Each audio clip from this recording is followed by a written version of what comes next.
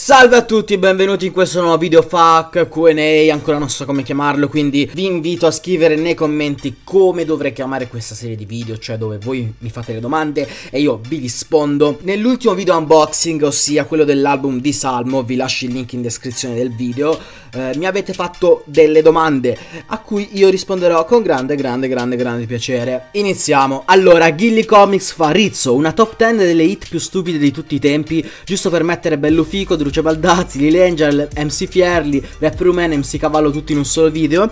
Eh, ti direi di sì perché io sono un amante del trash, eh, se non l'avessero già fatto. L'ha fatto Jason Raider, eh, vi invito a guardare il suo video, vi lascio il link in descrizione. Ha fatto un, uno o due video dove mette insieme tutte le canzoni peggiori o migliori, dipende da che punto di vista la vedete del rap italiano. E quindi guardatelo che fa morire da ridere. Mister SPN93 scrive: Per me è stato il secondo acquisto in versione deluxe, il primo è stato il CD più le due magliette di Beats and 8 di E-Green.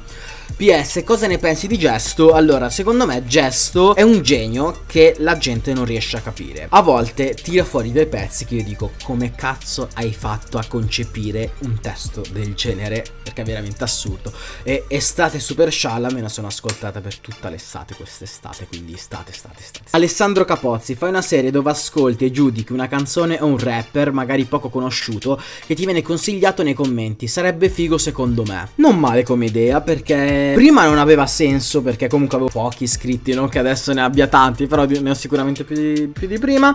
E magari a chi ha meno iscritti di me, chi ha meno views di me, forse riesco a fare pubblicità.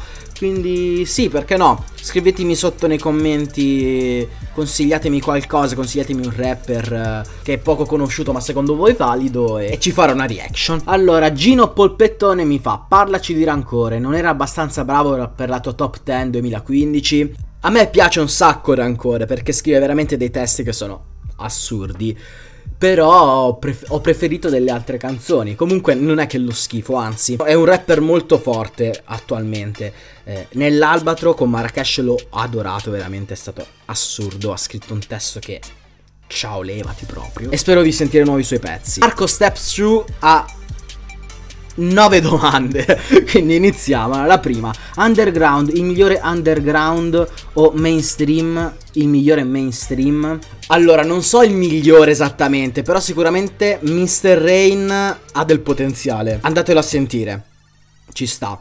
Mentre mainstream attualmente Salmo se si può considerare mainstream. Album preferito italiano per quanto riguarda il rap sarà banale, però mi fist Amy Fist. Album preferito internazionale, allora vi devo fare una confessione, io non ascolto molta musica estera, cioè ascolto quello che passa in radio, ok, le canzoni più famose le so, però diciamo che nel dettaglio non ne so molto, quindi skippiamo la domanda.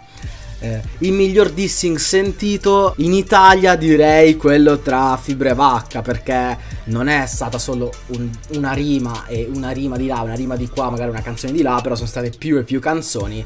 Mi è piaciuto questo andare avanti, rime su rime su rime, video su video su video. Mi è gustato parecchio. Si sono anche create un po' le fazioni, no? Fazione Fibra, fazione Vacca. La gente non vedeva l'ora che uscisse il dissing, quindi secondo me è riuscito parecchio come esperimento. Migliore extra beat. Uh, migliore extra beat.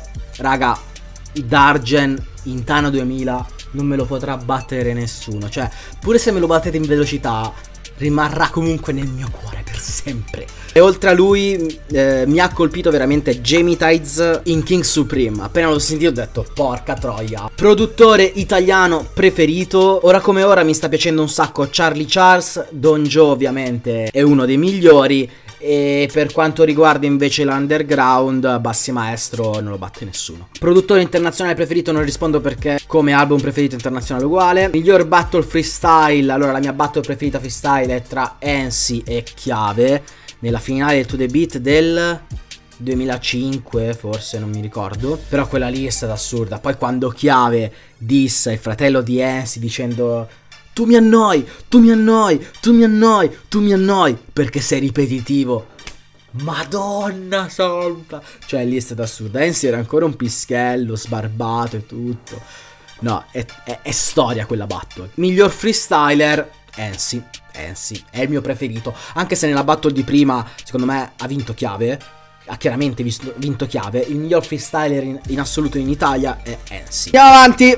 Tav, che saluto e mi invito a seguire la sua pagina, vi lascio in descrizione il link della sua pagina Facebook, mi raccomando likeatela, è brutto e nerd is the new figo palestrato, fa morire, fa dei meme assurdi, eh, ascolta anche lui il rap. Presa la sesta edizione, bellissime le tavole del fumetto, eh, intende l'album di Salmo. Cosa ne pensi della ghost track del disco? Quella canzone mi ha fatto morire. Io ho un altro mio amico, Steppo, che saluto, che segue Salmo come un pazzo. Appena uscito il disco, appena ci siamo sentiti la canzone canzone, la prima cosa che ci siamo detti è hai sentito l'ultima traccia che fa morire da ridere. Allora, eh, la parte musicale è eccelsa veramente, l'ultima parte, cioè veramente pazzesca. A parte il fatto che mi ha fatto morire da ridere, però credo rappresenti veramente una realtà eh, italiana, se non internazionale, di come i manager si approccino a, agli artisti di qualsiasi genere musicale, immagino. Ed è per questo che apprezzo molto le etichette in cui i manager sono essi stessi degli artisti, perché secondo me capiscono meglio le dinamiche non tanto commerciali del pezzo quanto di produzione. Se magari sono carenti per quanto riguarda la parte diciamo più legislativa della musica, per quanto riguarda invece la produzione sono al top.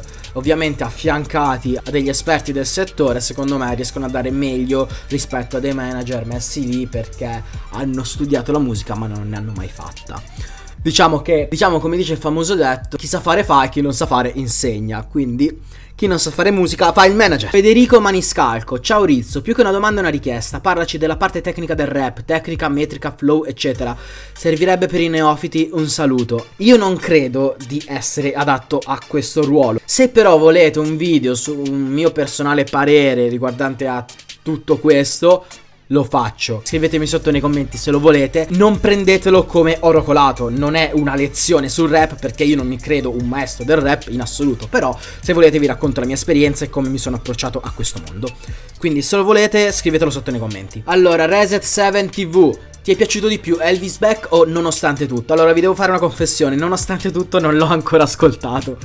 Per cui, eh, se volete una force listen di nonostante tutto, ve la faccio. Quindi la domanda più ovvia a questo è Elvis Beck, perché è l'unico che ho ascoltato tra i due. Devo recuperarlo. Lo recupererò. Gesù! Gesù! mi chiede cosa ne pensi di Mezzo Sangue. Allora, Mezzo Sangue è uno dei, de, dei rapper più particolari che ci sono adesso eh, sia per quanto riguarda appunto il suo passamontagna, sia per quanto riguarda il flow che è molto marchiato, molto rauco, molto forte. Mi sta parecchio secondo il mio modesto parere. Mi sembra che è stato una delle scoperte del, del Capitan Futuro Contest, mi sembra. E ho adorato Mezzo Sangue, la canzone Mezzo Sangue di Mezzo Sangue. Il nome è Mezzo Sangue. Da da da da da. Boh, ci rivediamo al prossimo video. Mi raccomando, scrivetemi sotto nei commenti altre domande a cui risponderò eh, nel prossimo Q&A FAQ, ancora non so come scrivetelo, ah, mi raccomando aiutatemi a trovare un nome per questa rubrica. E ci rivediamo al prossimo video, bella!